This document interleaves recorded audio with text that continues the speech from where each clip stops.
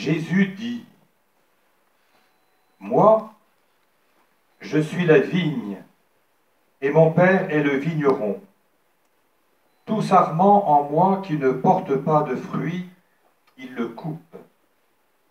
Et tout sarment en moi qui porte du fruit, il le purifie.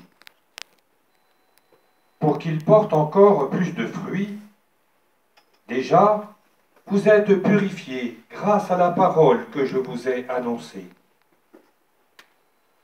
Demeurez en moi et moi en vous comme le sarment ne peut pas porter du fruit par lui-même s'il ne demeure pas dans la vigne. De même, vous ne pouvez pas porter du fruit par vous-même si vous ne demeurez pas en moi.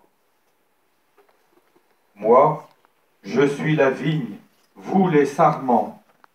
Celui qui demeure en moi et moi en lui, celui-là porte beaucoup de fruits car sans moi vous ne pouvez rien faire.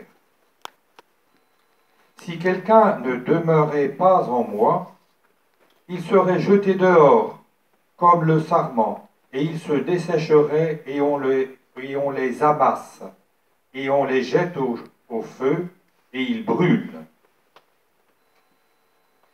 Si vous demeurez en moi, et si mes paroles demeurent en vous, ce que vous désirez, demandez-le, et cela viendra pour vous. La gloire de mon Père, c'est que vous portiez beaucoup de fruits et deveniez mes disciples.